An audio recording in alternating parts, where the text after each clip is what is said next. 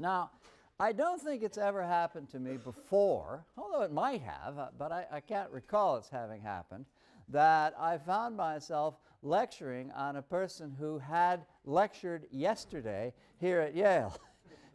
but that's what happened in this case. Uh, you read, um, let's just call it the facetious article on the lecture in the Daily News this morning. Uh, some of you may actually have been in attendance. Um, I unfortunately could not be, uh, but as it happened, I ran into her later in the evening and talked to some of her colleagues about what she'd said, so I, I, I do have um, uh, a certain sense, a certain sense of what went on. Um, in any case, uh, yeah, and, and as to what went on, um, I'm going to be talking today about the slipperiest phenomenon, intellectual phenomenon in her essay, having to do with what she calls psychic ex excess, uh, the, the charge or excess from the unconscious, which in some measure uh, unsettles even that which can be performed. We perform identity, we perform our subjectivity, we perform gender in all the ways that we'll be discussing in this lecture. But beyond what we can perform, there is sexuality, which I'm going to be turning to in a minute. And this has something to do with the uh, authentic realm of the unconscious from which it emerges.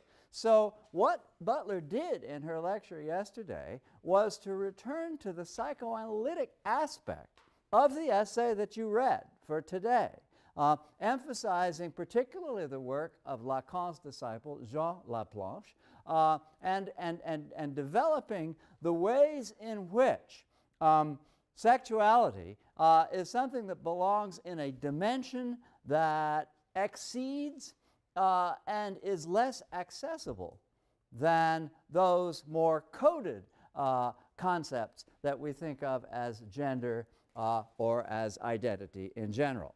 Um, and so, um, conveniently enough, for those of you who did attend her lecture yesterday, in many ways she really did return to the issues that concerned her at the period of her career when she wrote Gender Trouble and when she wrote uh, the essay that, that you read for today. All right, now I do want to begin with what ought to be an innocent question. I mean, surely we, we, we're entitled to an answer to this question. and the question is, what is sexuality? Right? Now, of course, you may be given pause, especially if you've got an ear fine-tuned to jargon, you may be given pause by that very word sexuality, which is obviously relatively recent in the language. People didn't used to talk about sexuality. They talked about sex, which, you know, seems somehow more straightforward. Um, but, the, but, but sexuality is a term uh, which is not only pervasive in cultural thought, uh, but also has uh, a certain privilege among other ways of describing that aspect of our lives. In other words, there's something authentic, uh, as I've already begun to suggest, about our sexuality, something more authentic about that than uh, the sorts of aspects of ourselves that we can and do perform. That's, that's Butler's argument, uh, and it's an interesting starting point. But it's really not, it's, it's not yet, or perhaps not at all, an answer to the question, what is sexuality? Now, for Foucault, sexuality uh, is arguably something like desired and experienced bodily pleasure. But the problem in Foucault is that this pleasure is always orchestrated by a set of factors uh, that surround it. Uh, a very complicated set of factors, which is articulated perhaps best um, on page 1634 in his text, uh, the lower right-hand column. He's talking about the difference between and the interaction between uh, what he calls the deployment of alliance and the deployment of our word, sexuality. Uh, and I want to read this passage and then comment on it briefly. In a word, and it's of course not in a word, it's in several words, the deployment of alliance is attuned to a homeostasis of the social body. The deployment of alliance is the way in which in a given culture the nuclear reproductive unit is defined. Typically as the family. But the family in itself changes in its nature and its structure. And the way in which the family is viewed, the sorts of activities that are supposed to take place and not take place in the family, because Foucault lays a certain amount of stress on incest and the, and the atmospheric threat of incest, the sorts of things that go on in the family and are surrounded by certain kinds of discourse conveying knowledge. Um, and we'll come back to, to, to the latter part of that sentence all have to do with the deployment of alliance.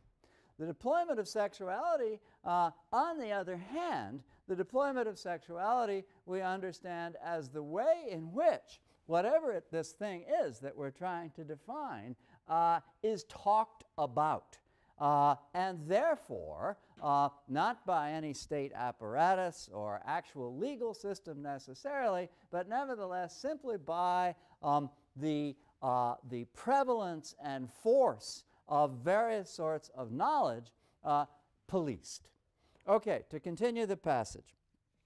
In a word, the deployment of alliance is attuned to a homeostasis or regularization, that's what, that's what he means by homeostasis, of the social body, which it has the function of maintaining, whence its privileged link with the law, that is to say, the law tells us all, all sorts of things about the family, including whether or not there can be gay marriage, just incidentally. I'll, I'll, I'll come back to that um, in a minute. Whence, too, the fact that the important phase for it is reproduction. The deployment of sexuality has its reason for being, not in reproducing itself, but in proliferating, innovating, annexing, creating, and penetrating bodies in an increasingly detailed way, and in controlling populations in an increasingly comprehensive way. What he's saying is, among other things, that a deployment of sexuality, which isn't necessarily a bad thing. These deployments um, aren't meant somehow or another to be terroristic regimes. Uh, a deployment of sexuality, which, for example, favored forms of sexuality such as birth control or homosexuality, uh, would certainly be a means of controlling reproduction. That is to say, and, and, and just in that degree, the deployment of sexuality could be seen as subtly or not so subtly at odds with the deployment of alliance. Alliance uh, which is all for the purpose of reproduction, or at least takes as its primary sign, as Foucault suggests, the importance and centrality to a given culture, or socio-biological system, if you will, of reproduction. And so this is the way, these are the ways in which the deployment of alliance and the deployment of sexuality converge, don't converge, conflict with each other. Uh, but in all of these ways, um, we keep seeing this concept of sexuality, but as I say, it continues to be somewhat elusive what precisely it is. Um, just to bracket that for the moment, uh, let me make another comment or two uh, on the concepts in the passage that I've just read. Let's say once for all at the outset that the central idea in Foucault's text, the idea which he continues to develop throughout the three volumes on the history of sexuality, uh, the, the central idea is this idea of power as something other than that which is enforced through legal, policing, or state apparatus means. Power which is enforced as a circulation or distribution of knowledge, which is discursive in nature, which enforces its norms for all of us, for better or for worse, because discourse can release, can constitute sites of resistance as well as oppress, which for better or worse circulates among us ideas that are, in a certain sense, governing ideas about whatever it is that's in question, in this case, obviously, sexuality. So, and Foucault calls this sometimes, uh, hyphenating it, power knowledge. This is absolutely the central idea in late Foucault. Uh, I introduced it, you remember last time, in talking about Said. I come back to it now uh, as that which really governs and guides you through the whole text of Foucault. The distinction between power as it's traditionally understood as authoritative, as sort of top down, coming from above, imposed on us by law, by the police, by whatever establishment of that kind there might be. Distinction between power of that kind uh, and power which is simply the way in which knowledge, and knowledge is not, by the way, necessarily a good word. It's not necessarily knowledge of the truth, but the way in which knowledge circulates and uh, imposes its effects on us. Behavior, the way we are, or the way at least that we think we are, uh, the way in which we perform, in Butler's term, uh, all of that in Foucault is, is, is, is uh, to be understood as an effect of power knowledge. Now, notice, however, in terms of our question, what is sexuality, that Foucault is being quite coy. He's talking about sexuality, but he's not talking about it in itself, whatever it in itself might be. He's talking about the deployment of it. That is to say, the way in which power of knowledge constructs it, makes it visible, makes it available to us, makes it a channel through which desire can get itself expressed. But a channel which is still not necessarily, in and of itself, that natural thing that we look for and long for uh, and continue to seek the nature of sexuality. So the, it, when, the, it, when the emphasis in Foucault's discussion is really on deployment, that is the way in which alliance, the family, whatever the, whatever the nuclear social structure might be, or sexuality, whatever it is that gets itself expressed uh, as desire, uh, the way in which these, these, these matters, these aspects of our, uh, uh, of our lives can be deployed we still aren't necessarily talking about the thing in itself. Foucault isn't an anthropologist. He's not talking about the family in itself either. He's talking about the way in which a basic concept of alliance, out of which reproduction arises and gets itself channeled, can be deployed, understood as manipulated by the circulation of power knowledge. The issue of gay marriage is very interesting, by the way, between these con the, the concept of the deployment of alliance and the deployment of sexuality. Because there's a certain sense in which the deployment of sexuality is at odds with the deployment of alliance. If, you know, if sexuality is something that is really just looking around for ways to get itself expressed, uh, you know, taking advantage of deployment where that's a good thing, trying to resist deployment where that seems more like policing, if it's just looking around for a way to get expressed, it's not particularly interested in alliance. It's not interested in the way uh, in, which, um, a, in which relationships involving se sexuality could, in, could settle into any kind of a coded pattern or system of regularity.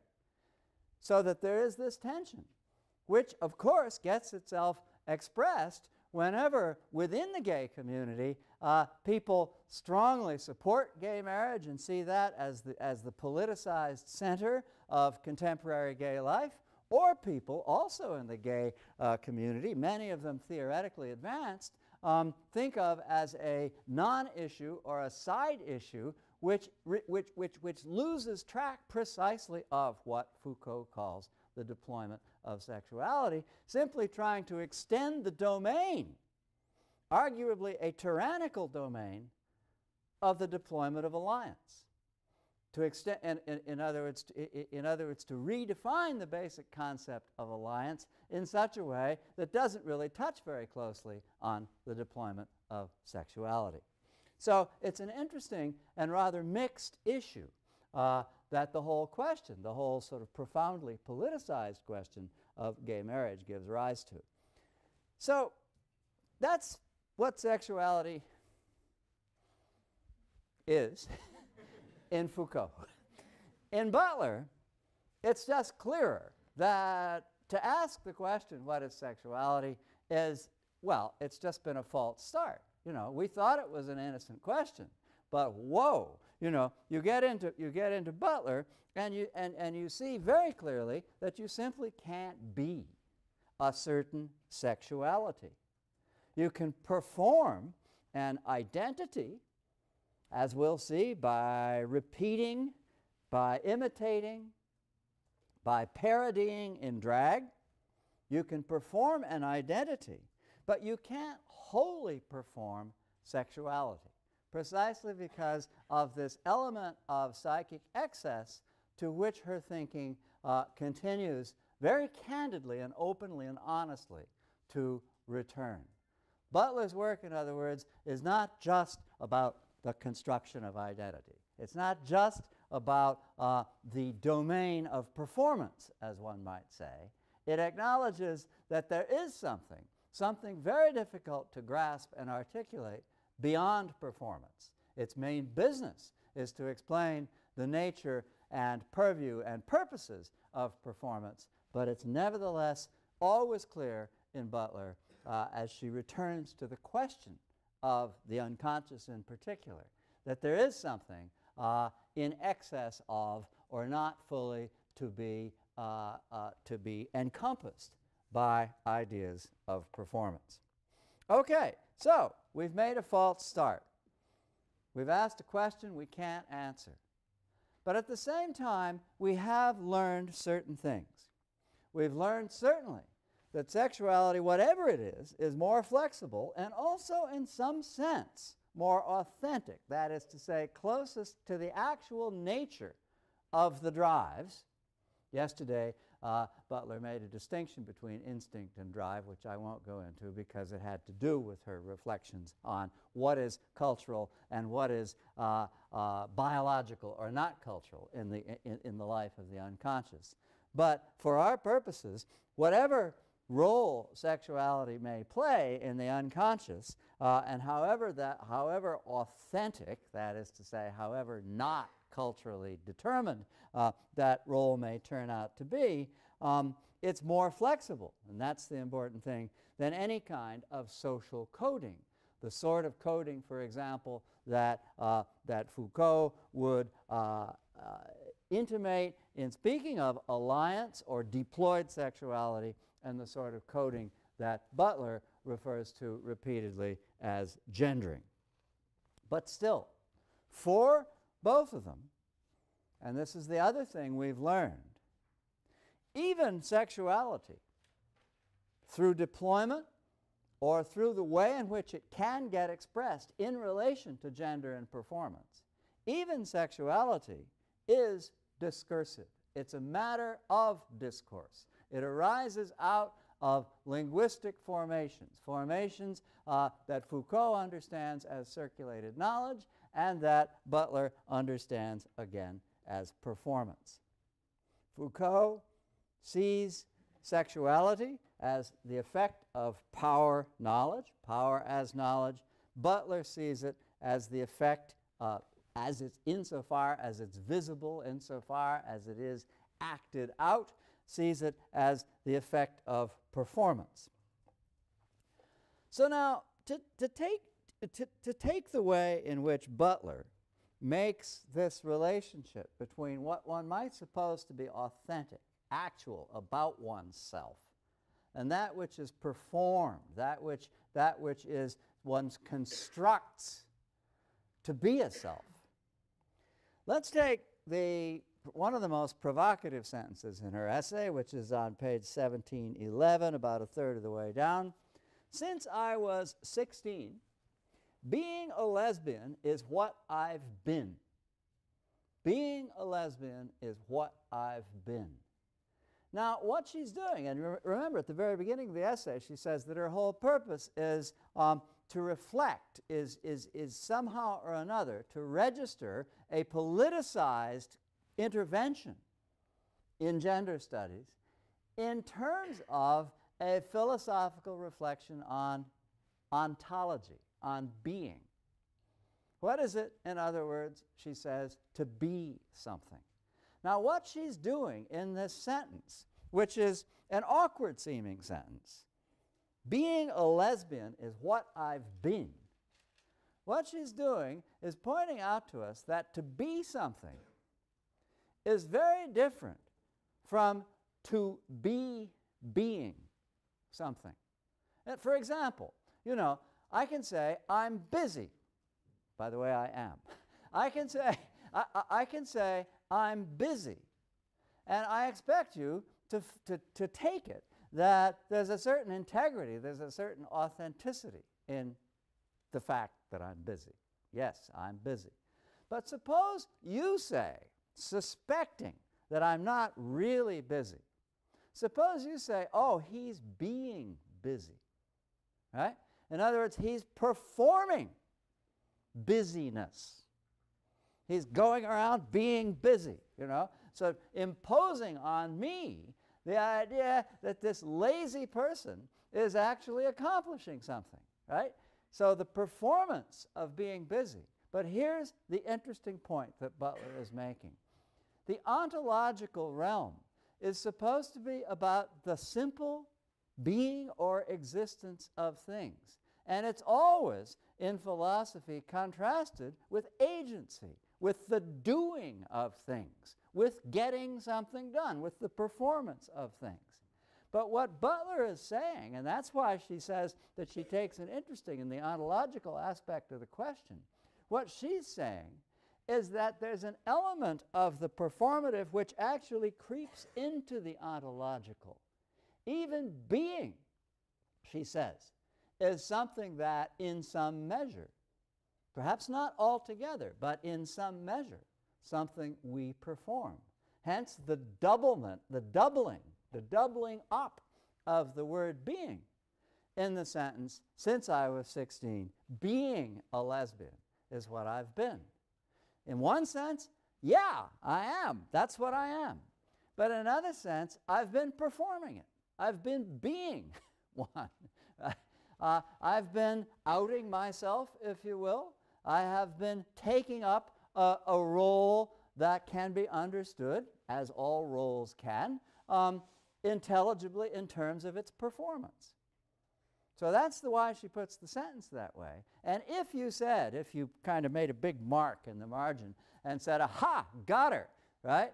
This is where she says she really is something. No more of this stuff of just constructivism, you know, making, you know, making oneself up as one goes along. This is where she says she really is something. You're wrong. She's escaped your criticism because she says, oh, no, no, no. It's be, I, I have been being a lesbian. Right? I've been being one, which is a different thing, although not an altogether different thing from being one. She is deliberately, in other words, on the fence between the sense of the ontological as authentic and her own innovative sense of the ontological as belonging within the realm of performance. Right? And she doesn't want to get off the fence. She doesn't want, she, she really doesn't want to come down squarely on either side because for her, and this is what I like best about her work, even though it's perhaps the most frustrating thing about it, because for her, what she is talking about is ultimately mysterious. She has a great deal to say about it, but she's not pretending that in what she has to say about it, she's exhausted the subject.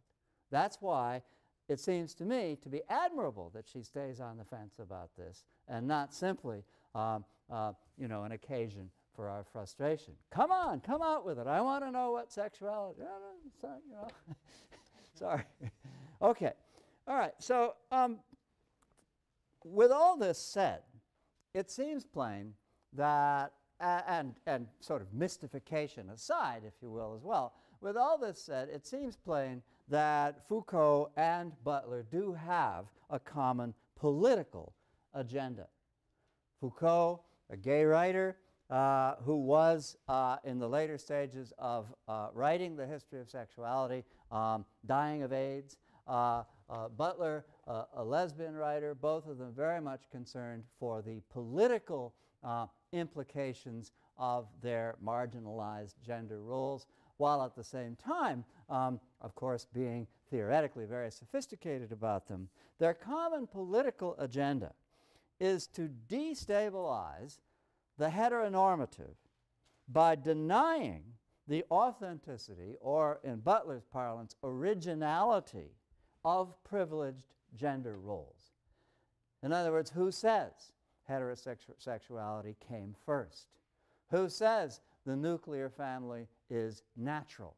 Who says sexuality uh, can only get itself expressed in certain ways that power knowledge deploys for it?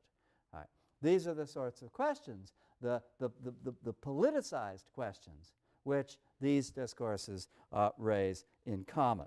Um, uh, so, in, in, in, so it seems to me that they have a very broad agenda in common, and it also seems to me that they are very closely in agreement. And so, and, and I say that just in order to pause briefly on the moment in which they seem not to be.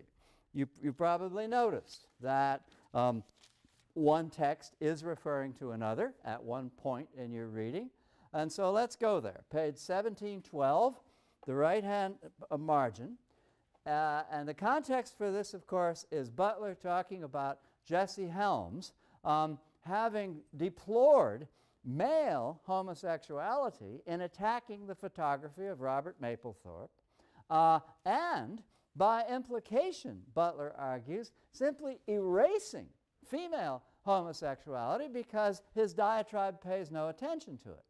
And Butler then complains that there's a certain injustice in that um, because, in a way, it's even worse, she says, uh, so to, to be declared non existent than it is to be declared deviant right? At least the male homosexual gets to be declared deviant. We're simply erased. That's the position she's taking here.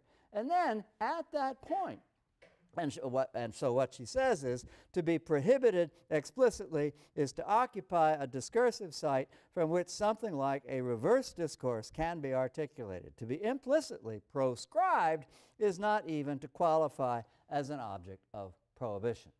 And here's where she, she gives us a footnote on Foucault. Footnote 15. You know, we love footnotes. It is this particular ruse of erasure which Foucault, for the most part, fails to take account of in his analysis of power. Butler's argument is that in Foucauldian terms, there's got to be discourse for there to be identity, right? Helms's refusal of the category of lesbian simply by omission because, and, and of course we know, by the way, that this is a refusal only by omission. Helms's refusal of this category is, at the is, is, in other words, an erasure of discourse. No discourse, no identity. That is, in other words, what Butler is claiming Foucault's position entails. Discourse creates power knowledge, Power knowledge creates identity. Therefore, where there's no discourse, there can be no identity. And since Helms has erased the lesbian by refusing discourse about it, it must follow that there's no such thing as a lesbian. Right? That, that, that, that's the implication of this footnote. He almost always presumes, and we must do honor to that word almost, almost always presumes that power takes place through discourse as its instrument. And that oppression is linked, uh, and that oppression, sorry, is linked with subjection and subjectivization. That is, that it is installed as the formative principle of the identity of subjects. All right. Now, in defense of Foucault, let's go to page 1632, the upper right hand column a passage that fascinated, uh, that's fascinating on a number of grounds. It's rather long, um, but I think I will read it. Upper right-hand column. Foucault says, consider, for example, the history of what was once the great sin against nature, the extreme discretion of the texts dealing with sodomy, that utterly confused category, and the nearly universal reticence in talking about it made possible a twofold operation. Okay, here's Foucault saying this is a category. The homosexual identity as uh, uh understood in terms of sodomy is a category. He's, about, he's going to go on to say that it's, that it's punishable in the extreme by law. But in the meantime, he's saying There's no discourse. There's a kind of almost universal silence on the subject. You don't get silence in Dante, as I'm sure you know, uh, but in most cases in this period, nobody talks about it. It's punishable, severely punishable by law, and yet nobody talks about it. This would seem to violate Foucault's own premise that discourse constitutes identity, uh, but also plainly does contradict Butler's claim that Foucault supposes that discourse always constitutes identity. So let's continue. The nearly universal reticence in talking about it made possible a twofold operation. On the one hand, there was an extreme severity. Punishment by fire was meted out well into the 18th century without there being any substantial protest expressed before the middle of the century. Discourse is here failing uh, also in that it's not constituting a site of resistance. Nobody's complaining about these severe punishments, just as, on the other hand, nobody's talking very much about them. There is, in other words, an erasure of discourse. And, he continues, on the other hand, a tolerance that must have been widespread which one can deduce indirectly from the infrequency of judicial sentences, and which one glimpses more directly through certain statements concerning societies of men that were thought to exist in the army or in the courts. In other words, he's saying there was an identity. And that identity was not, at least not very much, constituted by discourse. And he's going to go on to say, as you read down the column, he's going to go on to say that in a way, the plight of the homosexual got worse when it started being talked about. Yes, penalties for being homosexual were less severe, but the surveillance of, of homosexuality, the way in which it could be um, sort of dictated to by therapy and by the clergy and by everyone else who might have something to say about it, became far more pervasive and determinate than it was when there was no discourse about it. So that um, in a certain way, Foucault is going so, on, going so far as to say silence was, while perilous to the few, a good thing for the many. Whereas discourse, uh, which perhaps relieves the few of extreme fear, nevertheless so imposes a kind of hegemonic uh, uh, authority on all that remain and constitutes them as something that power knowledge believes them to be rather than something that in any sense, according to their sexuality, they spontaneously are. So it seems to me that this point of disagreement with Foucault raised by Butler is answered in advance by Foucault. And that even there, when you think about it, they're really in agreement with each other. They are, you know, it is, it, it, it, it Foucault's, Foucault's position is more flexible than she takes it to be, but that just means that it's similar to her own. Uh, and as I say, so that, that uh, fact, together with the, the broad shared political agenda that they have, seems to me uh, to, uh, to suggest that they're writing very much in concert uh, and in keeping with each other's views. Now, in method, they are somewhat different.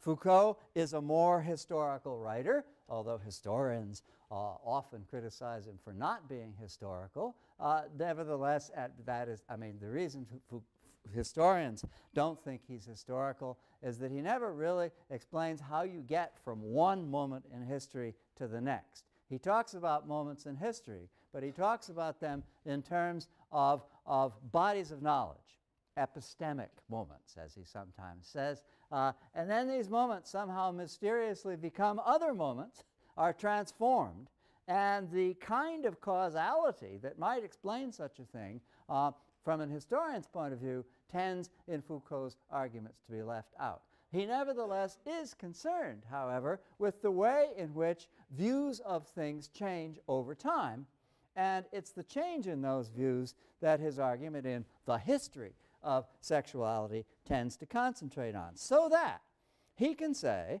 that starting in the 19th century and continuing to the present, there are essentially four cathected beings around which uh, power and knowledge uh, deploys itself.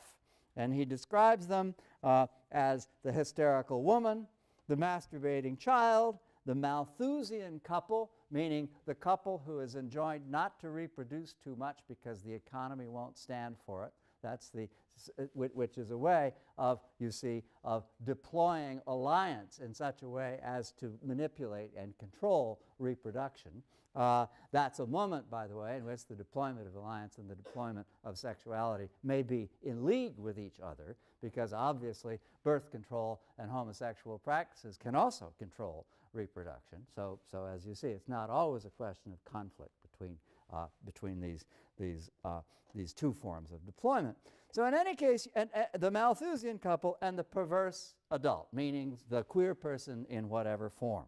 Uh, and he says about this on page 1634 in the left-hand column, you get, you, you, you get these four types. Uh, and he says that therapy, the clergy, family, parental advice, the various ways in which knowledge of this kind circulates have to do primarily with the preoccupation with, tension about, anxiety about these four types. The hysterical woman is, is determined to be hysterical once her whole, once, once it begins to be thought that her whole being is her sexuality.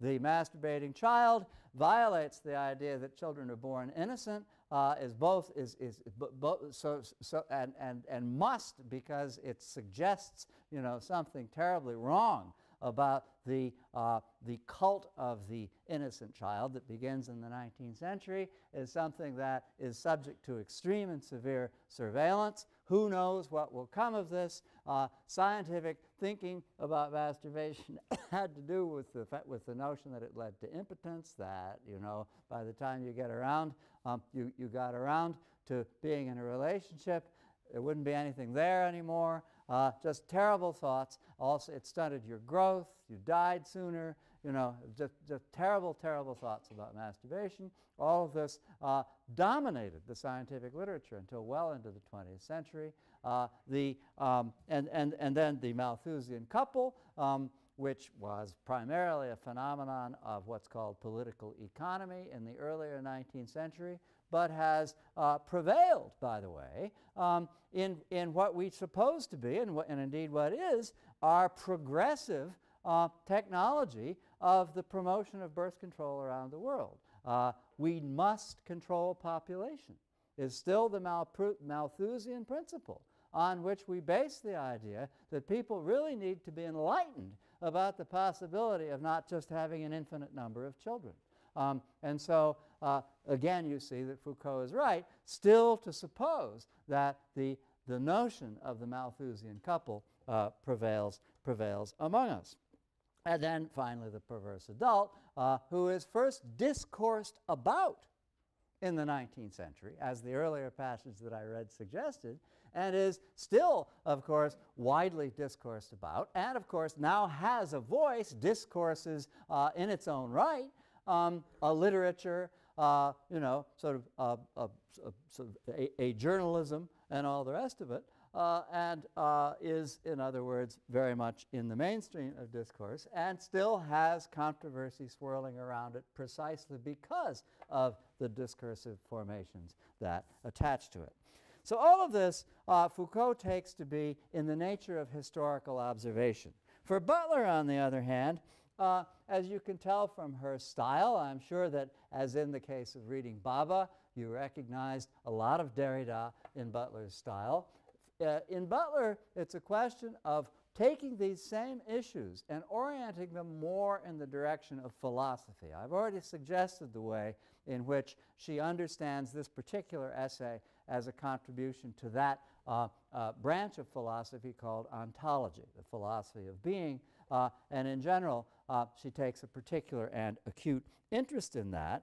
And what she does, I think by the, I mean, her basic move is something that I hope by this time you've become familiar with and recognize and perhaps even anticipate. Uh, for us, perhaps the uh, inaugural move of this kind uh, were the various distinctions uh, made by Levi-Strauss, uh, the one that I mentioned in particular, uh, as accessible and I think immediately explanatory of how the move works is the raw and the cooked.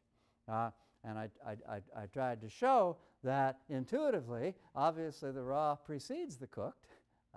You know, first it's raw, then it's cooked.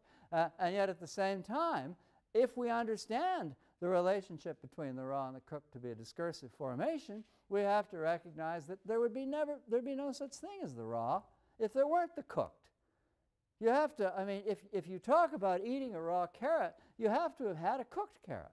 I mean, you can't, you know, you don't, you, you don't just pick up a carrot which, which, which you've never seen before and say, this is raw. The only way you know it's raw is to know that it can be and has been cooked.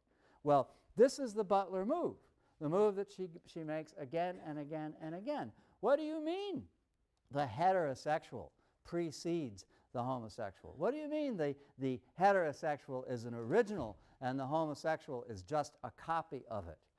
Who would ever think of the concept of the heterosexual? The heterosexual?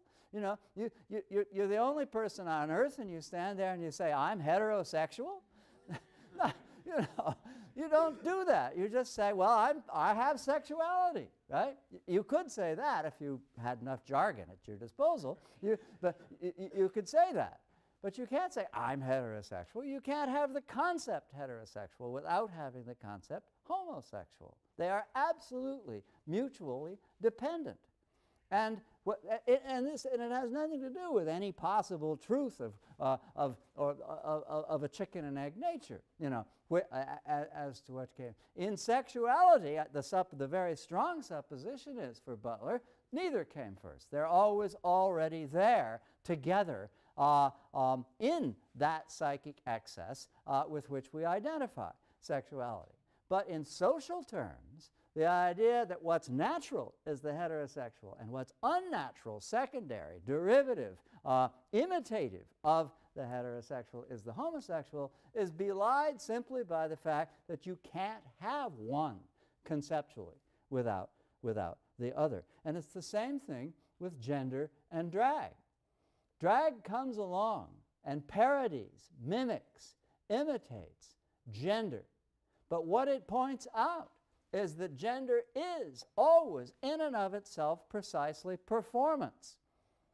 I, you know, uh, anybody, uh, uh, this could, of course, take the form of a critique, I suppose, but we're all quite virtuoso when it comes to performing. Here I am, I'm, I'm standing in front of you performing professionalism.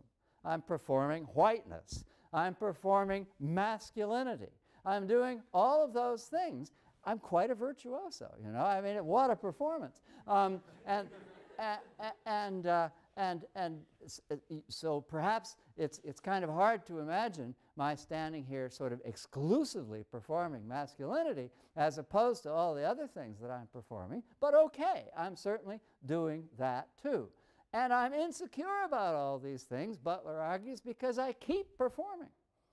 In other words, I keep repeating what I suppose myself to be. I don't just, I'm not comfortable in my skin, presumably, and I don't just relax into what I suppose myself to be. I perform it. Uh, it, is, it is, in other words, a perpetual self-construction construction, which does two things at once. It stabilizes my identity, which is its intention, but at the same time, it betrays my anxiety about my identity in that I must perpetually repeat it to keep it going. Right?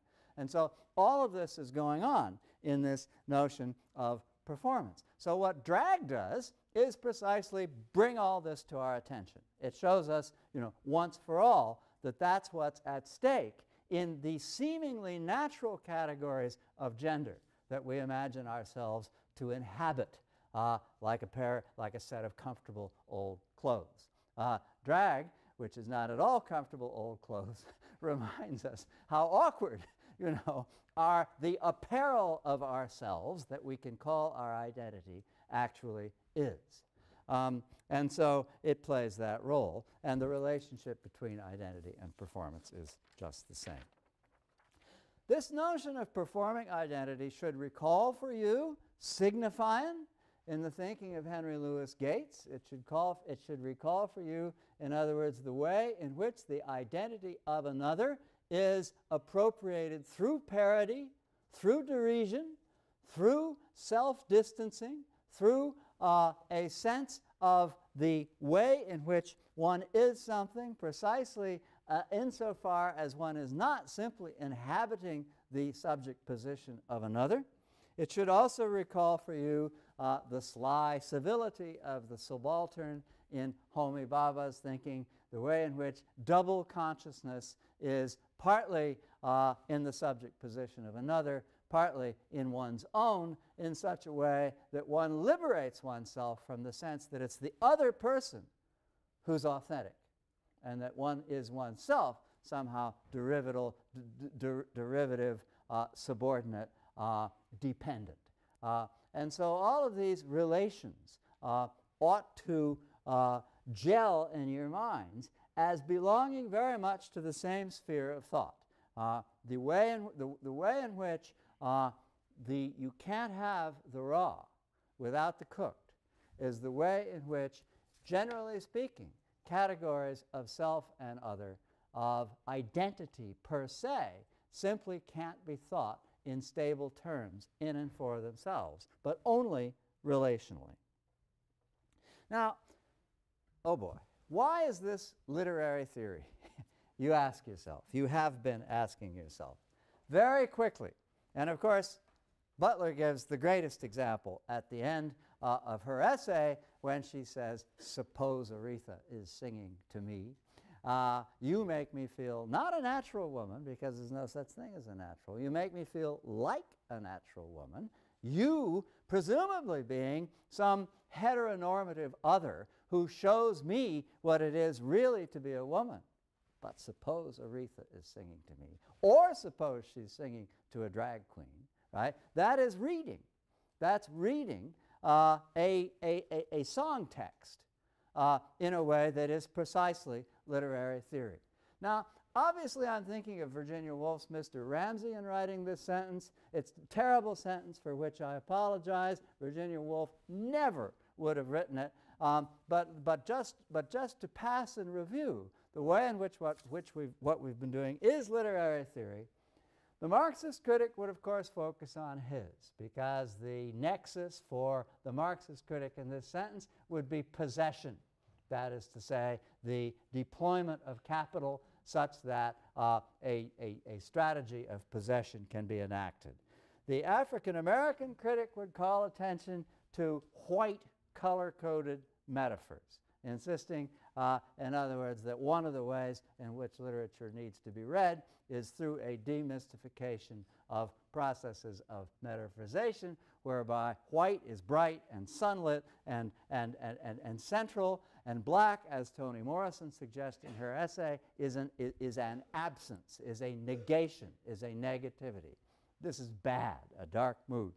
For the post-colonialist critic, obviously the problem is an expropriated but also undifferentiated commodity. Who? Oriental you don't mean Oriental, you mean Kazakh or Bukhara or Kilim or any number of other possible. In, in, in other words, the very lack of specificity in the concept uh, suggests the, uh, the reified or objectified other uh, in the imagination or consciousness of the discourse. And finally, uh, for gender theory, uh, the masculine anger of the philosopher, Mr. Ramsay, you remember he could so frustrated because he can't get past R, he wants to get S, he can't get past R. The masculinized anger of the philosopher masks the effeteness of the aestheticism of somebody who has an oriental rug, and that in turn might mask, you know, the, the effete professorial type, might mask uh, all, and altogether two heteronormative sexual predation and on and on and on dialectically if you read this sentence as uh, uh, an aspect or element of gender theory. Okay, I will certainly end there.